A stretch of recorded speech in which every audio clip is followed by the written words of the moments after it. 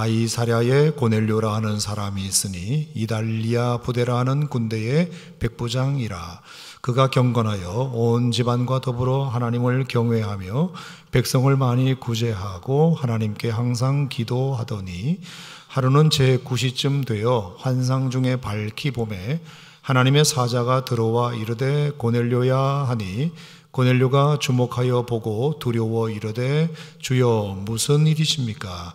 천사가 이르되 내 기도와 구제가 하나님 앞에 상달되어 기억하신 바 되었으니 네가 지금 사람들을 요바에 보내어 베드로라 하는 시몬을 청하라. 그는 무두장이 시몬의 집에 유숙하니 그 집은 해변에 있다 하더라. 마침 말하던 천사가 떠남에 고넬료가 집안 하인 둘과 부하 가운데 경건한 사람 하나를 불러 이 일을 다 이루고 요바로 보내니라. 이튿날 그들이 길을 가다가 그 성에 가까이 갔을 그때에 베드로가 기도하려고 지붕에 올라가니 그 시각은 제 6시더라. 그가 시장하여 먹고자 하매 사람들이 준비할 때에 황홀한 중에 하늘이 열리며 한 그릇이 내려오는 것을 보니 큰 보자기 같고 내 귀를 메어 땅에 들이웠더라. 그 안에는 땅에 있는 각종 네발 갈진 짐승과 기는 것과 공중에 나는 것들이 있더라. 또 소리가 있으되 베드로야 일어나 잡아 먹어라 하거늘 베드로가 이르되 주여 그럴 수 없나이다. 속되고 깨끗하지 아니한 것을 내가 결코 먹지 아니하였나이다 한데 또 두 번째 소리가 있어되 하나님께서 깨끗하게 하신 것을 네가 속되다 하지 말라 하더라. 이런 일이 세 번 있은 후 그 그릇이 곧 하늘로 올려져 가니라. 아멘. 네. 자, 오늘도 말씀을 통해서 여러분에게 은혜가 있으시기를 바랍니다. 자, 오늘 너무나도 유명한 가이사랴에 살고 있는 고넬료, 고넬료 이야기입니다. 자, 고넬료는 여러분 사도행전 역사에 어, 꽤 중요한 인물이에요. 왜 중요하냐 면 사도행전에 참 예수 믿은 사람들이 되게 많은데 이방인 중에서 제일 처음 예수 믿은 사람이 누구다? 고넬료예요. 9장까지는 다 유대인들이었어요. 유대인들이었는데 이방인 중에서 최초로 예수 믿은 사람이 10장에 나오는 고넬료 사건입니다. 자, 그런 점에서 굉장히 고넬료는 사도행전에 있어서 중요한 또 의미 있는 인물이라고 볼 수 있습니다. 자, 그가 어디 살았느냐 하면 가이사랴에 있었다 그랬는데 자, 이 가이사랴는 우리가 몇 년 전에 이스라엘 성지순례 갔을 때에도 공항에서 내리자마자 차 타고 제일 먼저 갔던 곳이 가이사랴거든요. 우리 성지순례 팀이 가이사랴는 지중해 연안의 해안 도시, 해안 도시고요. 음, 인공적으로 만든 항구 도시예요. 그러니까 가보시면 아시지만 도대체 여기에 항구 도시를 건설할 장소가 아닌데 싶을 정도로 그런 곳인데 정말 어거지로 만들었어요. 그래서 그 배를 대게 하려면 이제 방파제를 만들어야 되잖아요. 그 방파제를 만들기 위해서 바다가 또 얼마나 깊은지 바로 그냥 나가면 40m 깊이까지 이렇게 내려가는데 그 옛날 기술로 거기다가 뭘 메꿔야 될 것 아닙니까? 맵고야 방파제를 만들 수 있으니까요. 그래야 배가 들어올 수 있으니까 40m 깊이까지 돌이나 바위를 집어넣어 가지고 그 옛날의 항구 도시를 만들었대요. 하여간 대단해요. 대단합니다. 로마 사람들은 정말 뭐 못하는 것이 없는 것 같아요. 자, 그렇게 해서 그 지중해 연안에 가이사라는 도시를 옛날부터 뭐 항구 도시로 흘러내려온 것도 아니고 그냥 생뚱맞게 거기다가 이제 해안 도시를 만들어요. 항구 도시를 만듭니다. 자, 그렇게 만들어 가지고 거기서부터 이제 로마 군인들이 배 타고 와서 이스라엘로 이렇게 이제 들어오도록 만들고 거기 아마 가장 뭐 직선 거리로 짧은 거리였는지 몰라도 뭐 만들려면 또 만들어야죠. 그렇게 해서 이제 로마 부대 군인들이 거기 되게 많았는데 저는 뭐 몇 년 전에 갔을 때 가장 기억에 남는 것은 그 원형 경기장이 되게 참 인상 깊, 원형 극장이 인상 깊었고 그 다음에 그 마차 경기장, 뭐 배너에 나오는 그 경기장이 굉장히 큽니다. 굉장히 커요. 그 유적이 그대로 남아 있고 해안은 굉장히 아름다운 정말 지중해의 그 쪽빛 바다가 굉장히 참 아름다운 그런 곳으로 제가 이제 기억이 예, 되고 있습니다. 자, 거기에 이제 로마 군이 주둔을 하게 되었겠죠. 그 로마 군의 그 사명은 유대인들의 동료를 일단 막고 군인들이 예, 하는 역할 아닙니까? 그 다음에 이제 항구 도시이기 때문에 수출입 화물을 통제하는 역할을 군인들이 했겠죠. 그 다음에 황제나 황제 손님들이 로마 정부로부터 오면 경호를 맡는 그런 일들을 이 이달리아 대 가이사레에 주둔하고 있는 로마 군인들 부대가 이제 담당을 했던 것 같습니다. 자, 그 중에 이제 장교 한 사람의 이름이 누구죠? 고넬료라는 사람인데 백부장 하면 이제 부하가 100명 이런 뜻입니다. 자기 밑에 100명의 부하를 거느리고 있는 사람이라는 뜻입니다. 자, 그런데 이제 우리가 주목해야 될 것은 뭐냐면 이 고넬료가 예수 믿는 사람이었다는 것이 참 놀랍습니다. 유대인들 중에서라면 이해가 되는데 어떻게 이방인이고 특히 로마 군인이 어떻게 예수를 믿게 됐을까? 너무 신통망통하지 않습니까? 참 대단해요. 참 대단합니다. 이따가 물론 말씀드리겠지만 어, 저도 이제 꽤뭐 여러 나라를 이렇게 이제 한번 여행도 해보고 또 제가 군에 있을 때도 참 많은 어, 군함 타고 여러 군데 이제 제가 다녀본 경험을 이렇게 보면 교회가 없을 것 같은 곳에도 교회가 진짜 있더라고요. 진짜 어, 뭐 기독교 뭐 유럽 이런 데는 다 마찬가지고 불교 국가에도 교회가 있고요. 회교 나라에도 교회가 있고요. 중동 국가에도 교회가 있습니다. 있어요. 북한에는 있을까요, 없을까요? 당연히 있지요. 물론 봉수교회나 이런 이제 정치적인 교회도 있지만 지하교회 성도들이 다 있고요. 중국은 말할 것도 없고요. 저는 이 복음의 투과력, 복음의 빛의 투과력이라고 하는 것은 어떤 정치도 어떤 사상도 막지 못한다. 아멘입니까, 여러분? 어떤 사상도 못 막는다. 저는 그렇게 생각합니다. 그러니까 물이 투과되는 것이 있는데 물도 꽉 막아 놓으면 물이 못 들어오잖아요. 빛도 마찬가지고 빛도 강렬하지만 완전히 차단막을 해 놓으면 빛이 들어오지 못하잖아요. 공기도 마찬가지. 공기도 웬만하면 들어오지만 정말 그 공기가 못 들어오도록 딱 막아 놓으면 공기가 못 들어올 수 있거든요.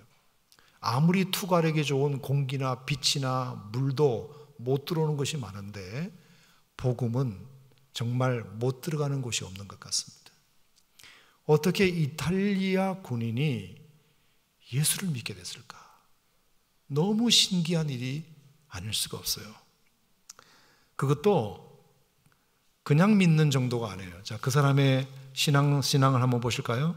그가 이절에 경건하여 온 지번과 더불어 하나님을 경외하며 백성을 많이 구제하고 하나님께 항상 기도하는 사람.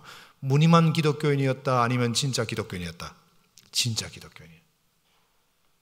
어디 가서 그냥 뭐 이력서 쓸 때 기독교 이 정도 쓰는 정도가 아니라 정말 확실한 기독교인이었음이 분명해요. 그가 경건하여 이 경건하다는 말을 여러 가지로 어, 해석할 수 있는데 어, 제가 해석하기를 좋아하는 뜻 중에 하나는 경건하다는 말은 자기를 지킬 줄 아는 사람이다. 따라합시다. 자기를 지킬 줄 아는 사람이다.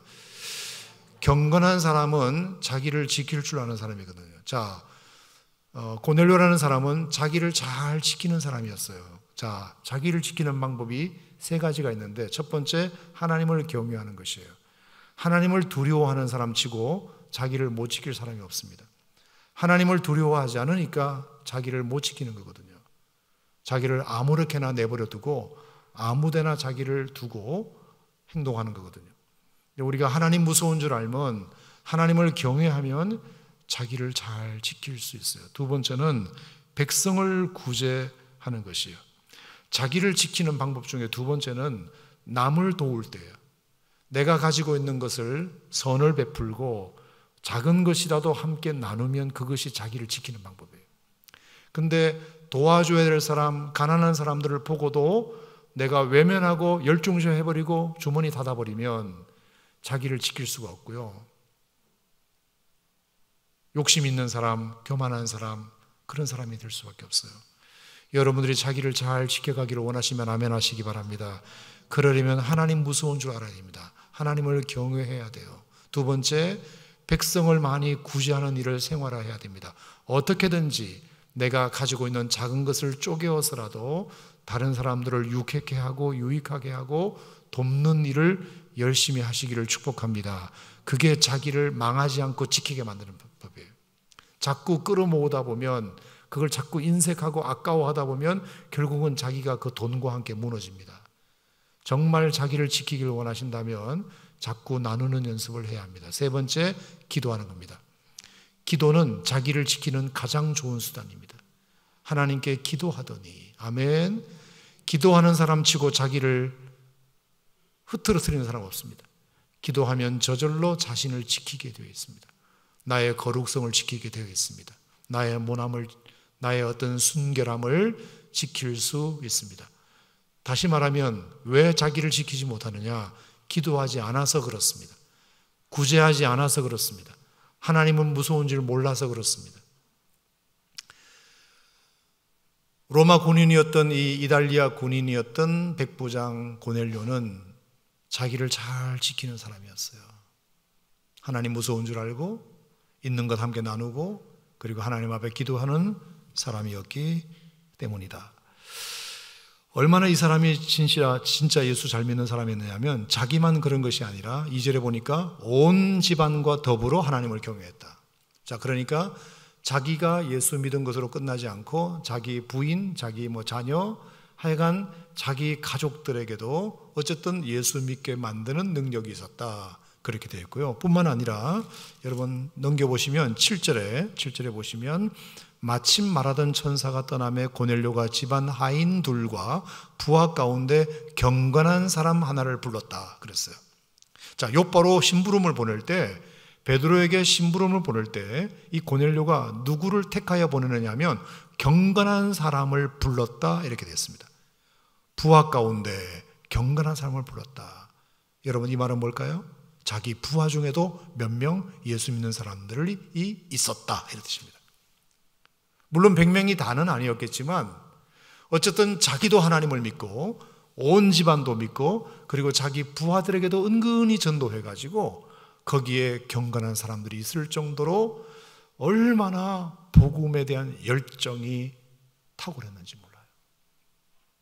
사랑으로 산 침례교 성도 여러분, 골동성전, 세교성전, 또 각 가정에서 유튜브로 참여하는 우리 귀한 성도 여러분, 여러분의 믿음이 이 고넬료처럼 여러분 주변을 밝히고 빛내는 영향력 있는 그리스도인이 되시기를 축복합니다. 축복합니다.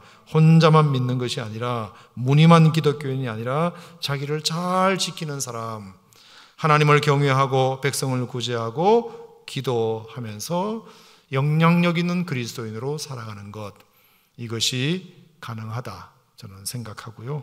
여러분 이것을 위해서 오늘 밤 기도하시기를 바랍니다. 자, 그럼 이 고넬료는 도대체 누구의 전도를 받아서 예수를 믿게 된 걸까? 제가 그 루트를 한번 추적을 좀 해봤는데, 자, 고넬료가 어디에 살았다 그랬죠? 가이사라예요. 자, 그러면 거꾸로 한번 가보겠습니다. 8장 40절. 자, 8장 40절에 보시면 거기에 유명한 사람 이름 사람이 나오 이름이 나옵니다. 시작. 빌립은 아소도에 나타나 여러 성을 지나다니며 복음을 전하고 어디에 가이사랴에 이르니라. 아하. 가이사랴에 누가 있었다? 빌립이 있었구나. 그러면 고넬료는 누구의 전도를 받았다? 빌립의 전도를 받았구나. 이게 합리적인 추론이에요. 합리적인 추론이에요. 자, 그러니까 이 빌립 집사님은 정말 대단한 사람이에요. 자, 우리가 빌립에 대해서는 우리가 지난주, 지지난주 이렇게 쭉 봐왔지만 빌립 집사님은 사도행전 6장에서 예루살렘 교회에서 일곱 명의 안수 집사를 안수할 때 한 명이었거든요. 근데 스데반 집사님이 돌에 맞아 순교하는 그 모습에 빌립사님이 너무 큰 충격을 받았던 것 같아요. 왜? 같이 안수받은 동기잖아요. 안수 집사 동기잖아. 그런데 일곱 명 중에 한 명이 피 흘려 순교하는 모습을 보고 가장 자극이 된 분이 빌립이에요. 내 친구 동료가 내 안수집사 동기가 저렇게 복음 전하다가 죽어갔는데 나는 가만히 있으면 안 되지. 나도 가만히 있으면 안 되지. 그래서 8장 1절 이하에 예루살렘에 큰 박해가 나가지고 사마리아로 사람들이 흩어질 때 빌립도 가서 사마리아에서 열심히 전도해가지고 누구까지 구원시켰느냐면 시몬이라는 마술사까지도 구원시켰어요. 우리가 봤죠? 마술사까지 구원시켰어요. 그러니까 전도에 대한 열정, 그 먼저 죽은 스테반 집사님에 대한 그 미안함 때문에, 살아있음에 대한 죄송함 때문에, 내 동기는 복음을 전하다가 누구는 죽기라도 했는데, 나도 뭔가를 해야지. 그 강렬한 동기를 받아가지고 사마리아로 가서 마술사 시몬까지 전도를 하죠. 전도를 합니다. 그래서 그 사마리아 성에 큰 기쁨의 좋은 소식을 빌립 집사님이 퍼뜨리게 됩니다. 더더군다나 여러분이 감동받았던 설교 중에 하나가 뭐죠? 에디오피아 간닥의 여왕 국고를 맡은 네시를 전도하라는 성령의 음성을 듣고 그 사마리아에서 저 가사까지 수십 킬로를 내려와 가지고 마차를 타고 에디오피아로 돌아가는 그 네시를 만나 가지고 복음을 전해서 침례까지 주는 그런 일도 일어나게 되어서 이 빌립사님을 통해서 아프리카 전도의 씨앗을 심는 결정적인 역할을 이 빌립사님이 하게 됩니다. 자, 그리고 와서 이제 8장 40절에 아까 본 대로 아소도에 왔고 가이사라에 왔는데 가이사라에서는 또 누구를 전도했다? 고넬료를 전도해서 고넬료. 참 대단한 사람 아닙니까? 이렇게 복음의 영향력이 정말 놀랍게 이 빌립사님을 통해서 퍼져나가는 것을 보면서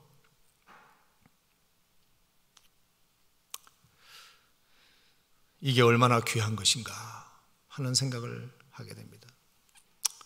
여러분, 좋지 않은 바이러스의 전염력이 더 센가요? 아니면 좋은 복음의 전파력이 더 센가요? 좋지 않은 바이러스가 훨씬 세요. 제가 보니까 안 좋은 것은 금방금방 전파됩니다. 우리 코로나 처음 시작됐을 때 신천지 대구에서 번졌을 때 하루에 100명, 500명, 1000명 이렇게 늘어났잖아요. 안 좋은 전, 바이러스의 전파력은 정말 급속도로 퍼져가기 때문에 우리가 주의하는 거잖아요. 근데 복음의 전파력은 너무나도 더딘 것 같아요, 사실은.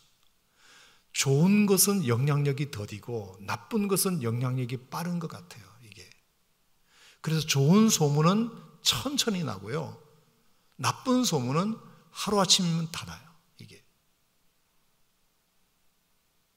그만큼 나쁜 소문은 전하는 사람이 많아요. 들으면 절대로 가만 안 있어요.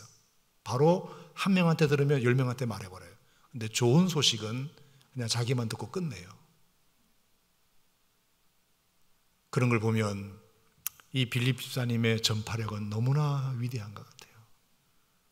사마리아 도성을 기쁨으로 만들고 에디오피아 간닥의 여왕의 내시를 전도해서 아프리카에 복음을 심고 그리고 그 이탈리아 군대에 최초로 예수 믿은 사람 고넬료에게 복음을 전하는 정말 이 빌립 집사님 안수받은 목사님도 아닌데 그냥 안수 집사님일 뿐인데 이런 역할을 해내는 것을 보면 정말 사도행전 8장, 9장, 10장에서 빌립사님의 역할은 너무나 지대하다고 볼 수 있을 것 같습니다.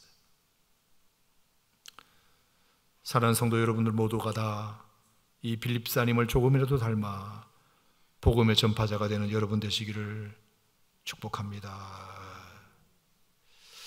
자, 그래서 이제 고넬료가 예수를 믿게 되었다는 걸 말씀드렸고요. 자, 4절 같이 읽겠습니다. 4절. 3절입니다. 3절 시작. 하루는 제 9시쯤 되어 환상 중에 밝기 봄에 하나님의 사자가 들어와 이르되 고넬료야. 자, 항상 기도하는 사람이었기 때문에 제 9시쯤에 오후 3시죠. 오후 3시쯤에 그 군인이 바쁜 가운데서도 기도 생활을 게을리하지 않습니다. 하나님의 천사가 고넬료야라고 부르게 됩니다. 고넬료야 환상 중에 밝히 봄에 자 보고 들었다. 여러분 얼마나 기도가 경건한 기도였으면 봐야 할 것을 보고 들어야 할 것을 듣는 기도. 우리가 아무리 소리를 지르면서 기도해도 봐야 할 것을 보지 못하고 들어야 할 것을 듣지 못하는 기도가 있는데 고넬료의 기도는 얼마나 신실한 기도였는지 밝히 보고 고넬료야 하는 한 천사의 음성을 듣게 됩니다. 자, 뿐만 아니라 사절에 보면 고넬료가 주목하여 보고 두려워 이르되 주여 무슨 일이십니까? 자, 천사한테 주여 무슨 일이십니까?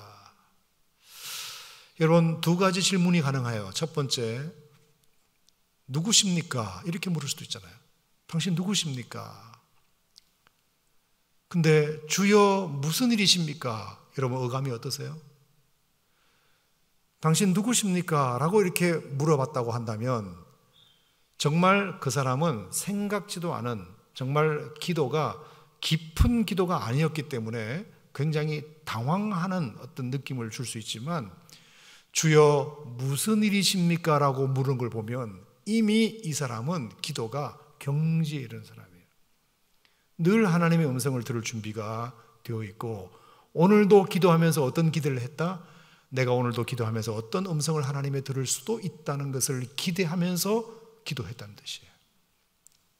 만약에 내가 오늘 기도하는데 어떤 음성도 안 들릴 거야. 그냥 나는 그냥 한번 주여 삼창하고 끝낼 거야 했다면 주여 무슨 일이십니까? 라는 질문보다 누구십니까? 이렇게 했을 거예요. 그런데 주여 무슨 일이십니까? 라고 물은 걸 보면 틀림없이 고넬료는 기도 전부터 어떤 마음의 자세가 있었다고 보느냐? 오늘도 주님이 무슨 말씀을 하실 수 있다. 어떤 말씀을 하실 수도 있겠다. 이 마음을 가지고 기도하는 것이에요. 벌써 기도가 달라요. 기도가. 얼마나 깊은 기도면 오늘도 주님이 뭐라고 말씀하실 수도 있을 거야. 이게 얼마나 참 저에게 도전이 되었는지 모릅니다. 건성으로 드리는 기도로는 절대로 불가능한 질문입니다. 얼마나 기도가 진짜였으면 주님이 말씀하시자마자 주님 무슨 일이십니까? 이렇게 답을 했겠습니까?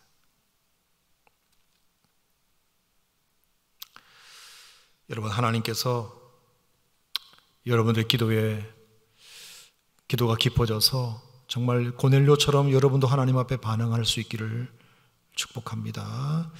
자, 그랬더니 천사가 이르되 뭐라 그랬죠? 내 기도와 구제가 하나님 앞에 상달되어 기억하신 바 되었으니 할렐루야, 할렐루야. 예, 하나님께서 하신 첫 말씀이 내가 너의 기도와 구제가 다 상달되어 기억하고 있단다. 자, 여러분 한번 물어봅시다. 자, 이 사람은 로마 군인입니다. 장교예요. 그리고 이방인은 예수 믿으면 안 되는 분위기예요. 그러면 대놓고 기도하는 생활을 했을까요? 안 했을까요? 안 했어요. 대놓고 예배 생활도 못하고, 대놓고 기도도 못하고, 대놓고 예배도 못 드리고, 대놓고 구제하거나 이런 걸 못해요. 다 조용히 숨어서 이렇게 하는 것이에요.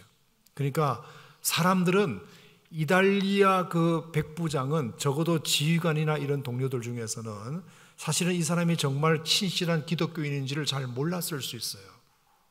잘 몰라요. 이 사람이 얼마나 많은 사람들을 구제하고 얼마나 많이 기도 생활을 열심히 하며 하나님을 경외하는 사람인지 대놓고 믿을 수가 없기 때문에 숨어서 혼자서 있을 때 그렇게 했을 거란 말이에요. 그러니까 사람들은 다 모를 수 있죠. 그런데 신기하게 하나님은 다 알고 계셨어요. 그가 어떤 구제를 하는지, 하나님 앞에 어떤 기도 생활을 하는지 하나님은 다 알고 계셨다. 아하. 우리가 아무리 조용히 하나님 앞에 무언가를 하더라도 하나님은 다 아시는구나.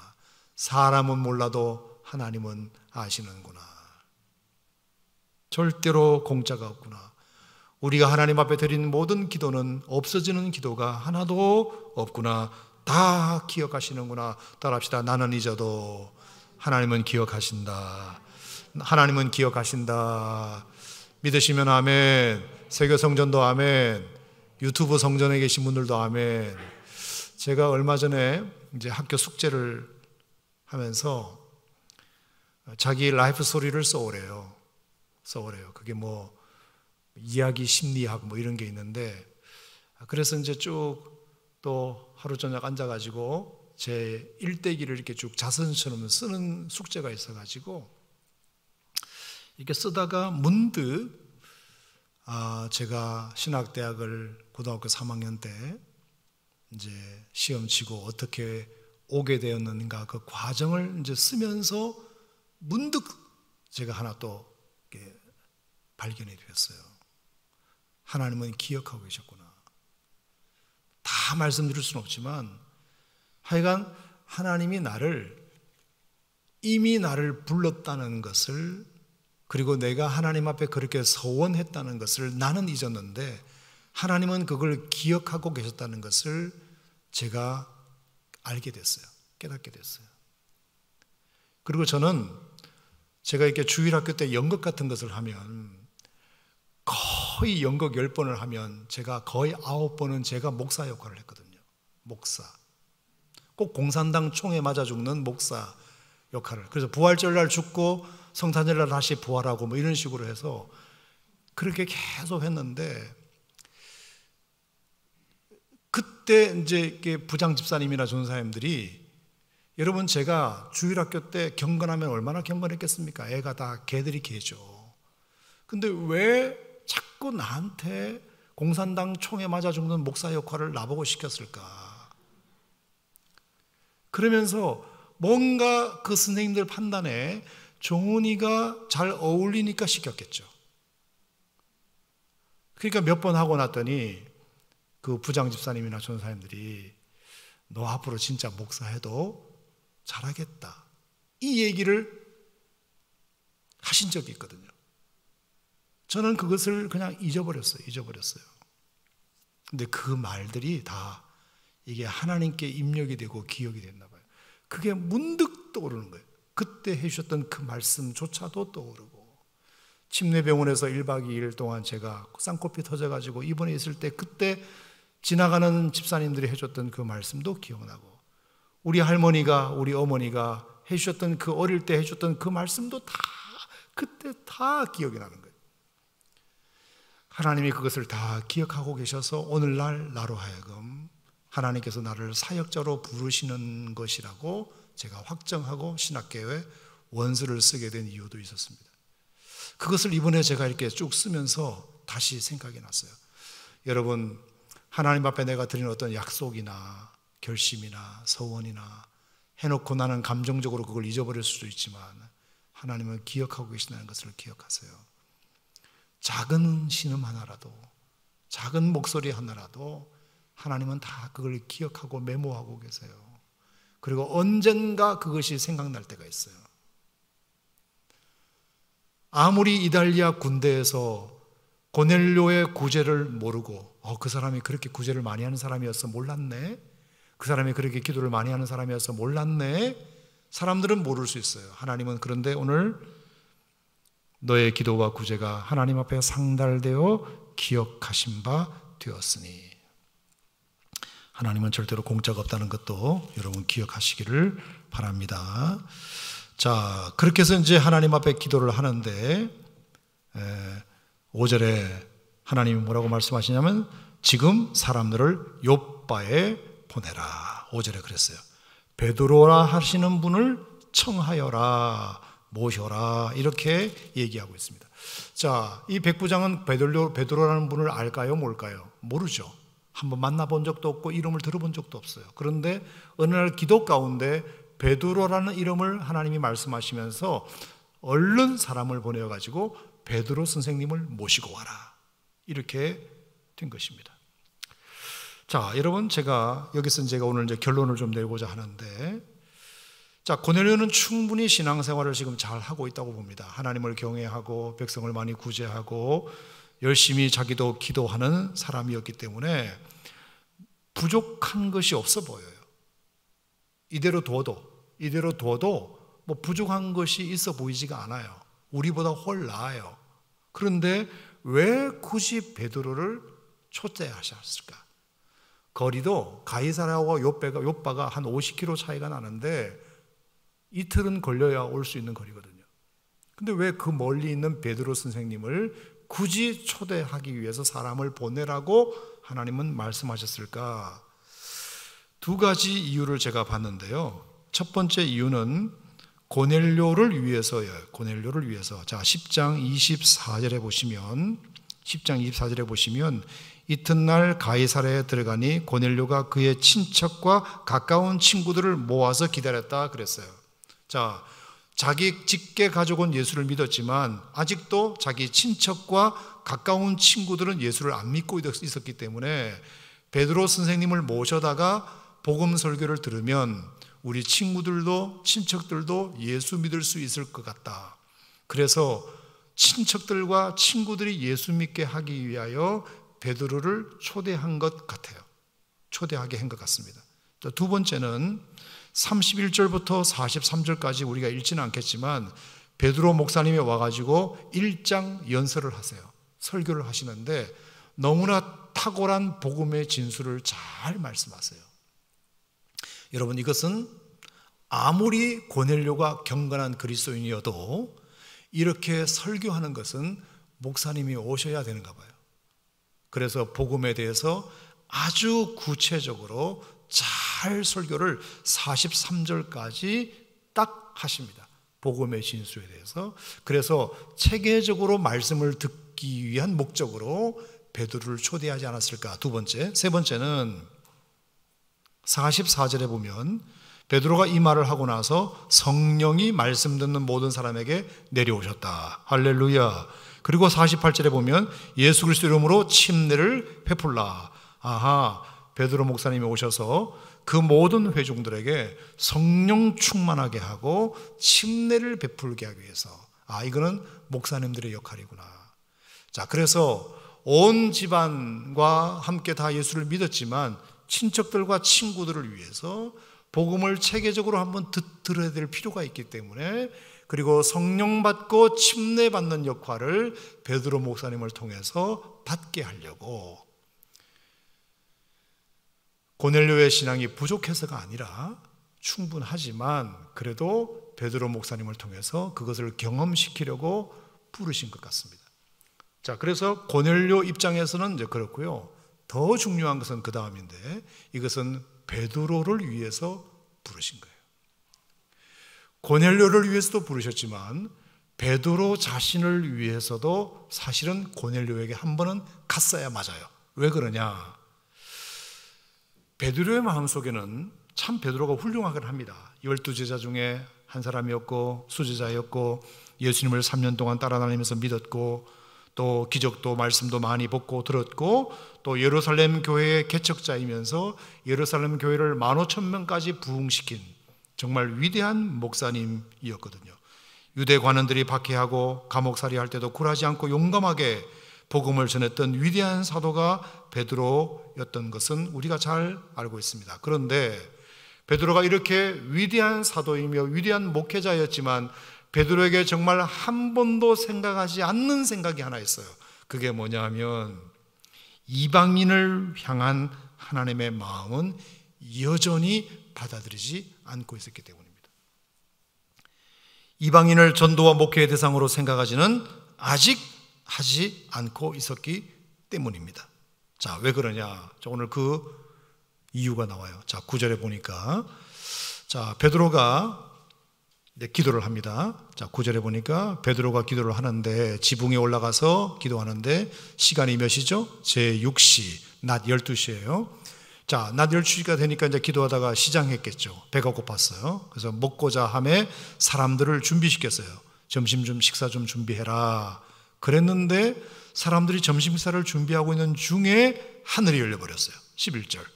하늘이 열리며 한 그릇이 내려오는 것을 보는데 큰 보자기가 내 귀퉁이를 메어 땅에 내려온 것입니다.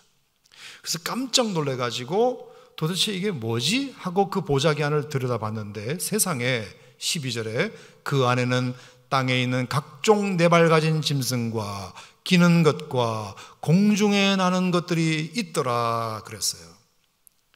이런 짐승들이 내 귀에 달린 보자기 안에 들어있는 것입니다. 그것도 깜짝 놀랄 일이지만 13절에 보니까 소리가 있어대 베드로야 일어나 잡아먹어라 이런 음성이 들렸어요. 그 짐승들을 네가 잡아먹어라 라고 소리가 딱 들리는 것입니다. 그러자 14절에 베드로의 첫 반응이 뭐죠? 주여 알겠습니다. 였나요? 아니에요. 그럴 수 없나이다. 속되고 깨끗하지 아니한 것을 내가 결코 먹지 아니하였나이다. 자, 그러니까 그 보자기 안에 들어있는 짐승들은 다 속된 짐승들이 있었기 때문입니다.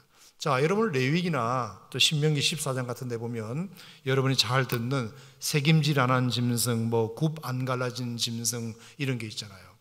거기 보면 그렇게 나와요. 색임질을 하지 않고 굽이 갈라지지 않은 짐승은 절대로 먹으면 안 된다. 이거는 오알이에요. 엔드가 아니고 오알이에요. 색임질을 안 하는 대신에 굽이 갈라져도 먹으면 안 되고 굽이 안 갈라지고 색임질을 해도 안 되고 둘 중에 하나만 걸려도 부정한 짐승이니까 먹지 마라. 여러분, 유대인들의 음식법은 생명을 걸고 지키는 법이에요. 이 음식 규례는. 지금도 유대인들은 돼지고기 안 먹잖아요. 절대로 안 먹어요, 절대로. 생명을 걸고 지켜요. 그런데 베드로는 그 율법에서 전통에서 내려오는 그 음식법에 대해서는 너무나 바삭하게 잘 알고 있는데 보자기에 담긴 그 짐승들이 전부 다, 다 색임질을 안 하거나 굽 안 갈라진 짐승이 있는데 성령께서 잡아먹으라고 하니까 싫다는 것입니다. 주여 그럴 수 없나이다. 내가 속되고 깨끗하지 않은 것을 지금까지도 안 먹어 왔었는데 어떻게 내가 배가 고프다고 먹을 수 있습니까? 그랬더니 자 13절에 또 소리가 있어대 베드로가 일어나 잡아먹어라. 두 번째, 그랬더니 베드로가 이르되 주여 그럴 수 없나이다. 속되고 깨끗하지 않은 것을 내가 결코 먹지 아니하리다. 아, 15절에 또 두 번째 소리가 있었다. 자, 이런 일이 몇 번 있었다? 16절에 세 번 있었다. 그랬습니다. 자, 세 번 있는 동안 베드로는 결국은 먹지 않습니다. 자, 이것을 통해서 제가 드리고 싶은 마지막 말씀은 베드로가 예수님의 수제자였고 3년 동안 예수님을 따라다녔고 숱한 말씀도 많이 듣고 기적도 많이 보고 그리고 예루살렘 교회를 부흥시킨 정말 위대한 주역이었던 것은 분명하지만 견고한 진처럼 베드로의 가슴 속에 무너뜨릴 수 없는 철벽 같은 것이 있었으니 그게 뭐냐 이방인들은 제외하고 이 말이었어요. 우리 유대인들만 우리 유대인들은 복음 전도의 대상이고 유대인들은 목회의 대상이지만 저 이방인 것들은 책임질 안 하고 굽 안 갈라진 짐승과 같기 때문에 절대로 상종할 수 없는 존재들이라는 생각이 베드로의 마음속에 꽉 박혀 있는 겁니다. 그렇게 훌륭한 목회자도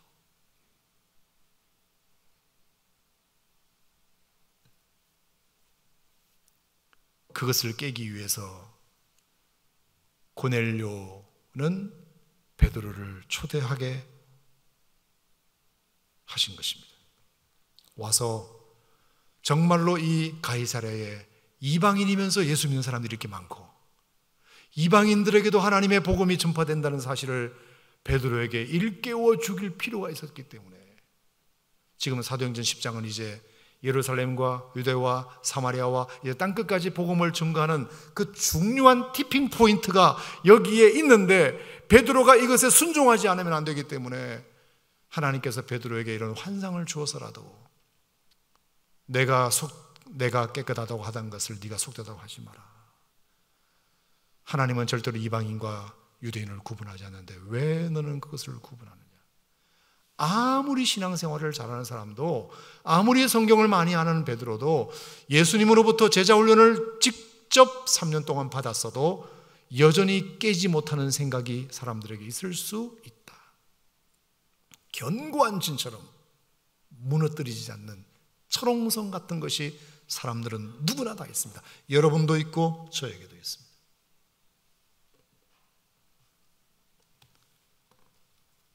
특별히 여러분 베드로가 뭐 하는 시간이었나 이때가 기도하는 시간이었어요. 기도하고 있는 시간이었음에도 불구하고 하나님이 잡아먹으라고 하는데도 나는 그건 못하겠습니다. 기도 시간임에도 불구하고. 기도 시간은 하나님의 음성을 듣는 시간임에도 불구하고 하나님이 정작 말씀하시니까 그건 아닌 것 같습니다. 라고 세 번씩이나 부인하는 것을 보세요. 여러분, 저는 그래서, 아, 베드로는 지금까지 기도를 어떻게 정의했는가 뾰롱이 났습니다.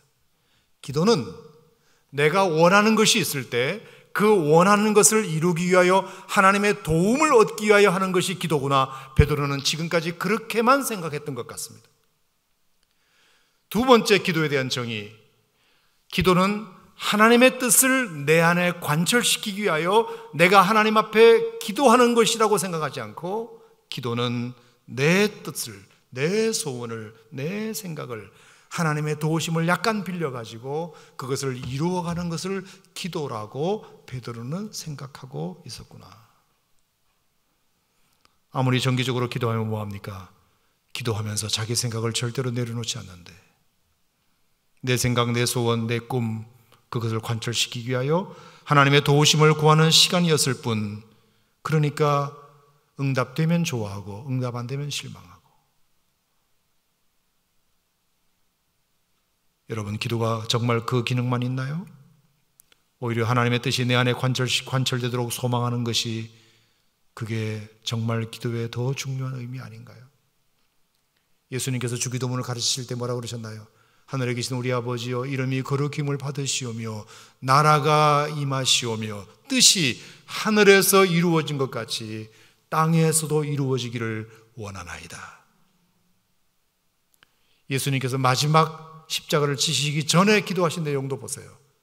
아버지, 가능하다면 이 잔을 내게서 피하게 해주시되, 하지만 내 뜻대로 마시고 아버지 뜻대로 하십시오. 기도를 가르칠 때부터 예수님 마지막 기도하는 그 순간까지 주님은 기도가 뭔지를 우리에게 가르쳐 주셨어요. 기도는 내 뜻을 접고 하나님의 뜻을 받아들이는 것이 기도다. 아멘입니까? 아멘입니까? 근데 베드로는 신앙생활을 그렇게 열심히 하고 목회를 그렇게 크게 했어도 딱 하나가 안 바뀌는 것이 있었으니 기도는 내 뜻이나 내 소원을 하나님의 힘을 빌어 관철시키는 것이라고만 생각했던 것입니다.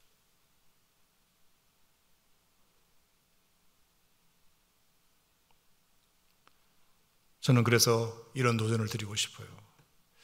인생의 변화는 기도를 어떻게 정의하느냐가 결정된다고 생각합니다. 제 인생도 50대 중반의 인생을 살아오면서 제가 가만히 생각하니까 제가 정말 하나님 앞에 어떤 기도를 드려서 제 인생이 변화되었다면 어떤 기도를 드렸을 때 제가 인생이 변화되었는가 잘 들어보세요.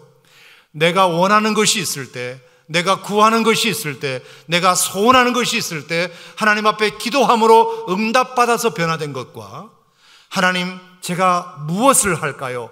무엇을 할까요? 하나님 저에게 말씀해 주세요라고 했을 때 하나님의 그 기도를 통하여 내게 주신 말씀대로 내가 그것을 했을 때 일어난 변화를 제가 가만히 비교해 보니까 제 인생을 근본적으로 바꾸게 된 기도는 내가 어떤 뜻을 미리 정해놓고 하나님의 도우심을 구했을 때보다 하나님의 뜻이 뭔가요? 가르쳐 주세요. 주님 뜻이 뭔가요? 가르쳐 주세요. 제가 그대로 할게요. 라고 물었을 때 하나님이 주신 응답대로 했을 때 저에게 더 큰 변화가 있더라고요. 더 큰 변화. 그리고 더 좋은 일이 있더라고요. 더 좋은 일이. 제가 아까 말씀드린 고등학교 3학년 때 대학을 어디로 갈 것인가를 결정 지을 때도 마찬가지였어요. 내가 부산대학교 국어교육학과를 하나님 제가 지원했으니 꼭 합격시켜 주세요. 라고 제 뜻을 정해놓고 하나님 앞에 기도했을 때보다 하나님 제가 무엇을 할까요? 어디로 갈까요? 말씀해 주세요. 라고 했을 때 받은 응답 가지고 그 응답대로 했더니 하나님이 제 인생을 더 복되게 만드셨어요. 더 복되게.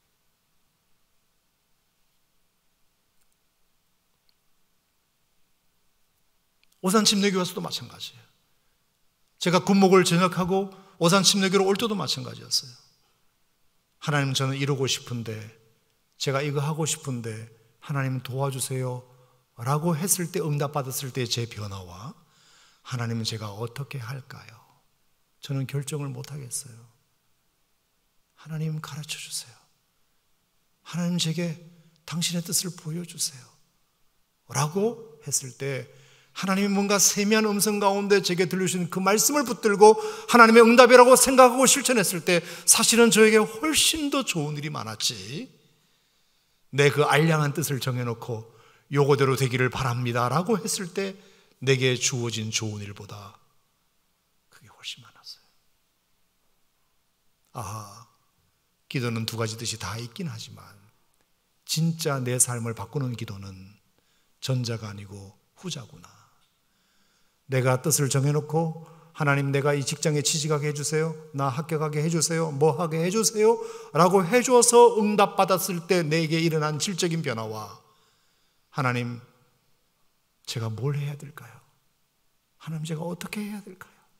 라고 했을 때 하나님의 그 기도를 통하여 나에게 보여주셨던 그 꿈과 비전과 하나님의 뜻과 생각을 귀하게 받고 알았습니다, 하나님. 그러면 제가 한번 그렇게 해볼게요 라고 했을 때 일어난 변화를 비교해 보면 이쪽이 훨씬 더 내게 더 유익하고 복되고 좋았다는 것을 말씀드리고 싶어요. 여러분 이것은 비단 저의 기도, 기도 경험뿐만 아니라 저 여러분들에게도 동일하다고 생각합니다. 그러니까 여러분도 그렇게 기도해 보세요. 물론 여러분이 원하는 기도 제목을 하나님께 드릴 수 있어요. 하나님 응답해 주실 겁니다. 하지만 진짜 여러분의 삶에 놀라운 변화가 일어나기를 원한다면 주여 무슨 일이십니까? 주여 제가 무엇을 하리이까? 주님 당신의 뜻대로 하세요. 라고 기도를 통하여 받아들이고 하나님 앞에 그렇게 나아갈 때 진짜 내 삶을 근본적으로 바꾸는 능력이 일어난다.